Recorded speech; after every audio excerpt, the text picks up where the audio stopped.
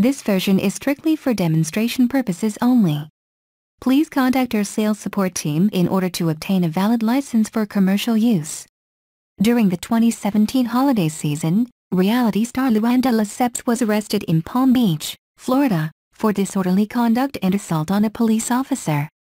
Last week, that officer was fired from the force after making numerous erroneous arrests. Now, the former Real Housewives of New York says she is investigating the allegations of misconduct that fired agent Stephen O'Leary, and says she will take action accordingly. O'Leary worked for the Martin County Sheriff's Office for 11 months and made 80 drug-related arrests during that time. However, he was removed from the force after three of his recent drug arrests failed to test positive for narcotics. As a result, nine of the arrested inmates of O'Leary were released from custody, and all arrests of the officers will be reviewed.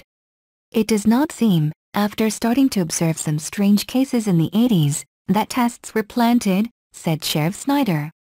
The sheriff's office says O'Leary could face charges for misconduct. We can never completely rearm each piece of this, Snyder said.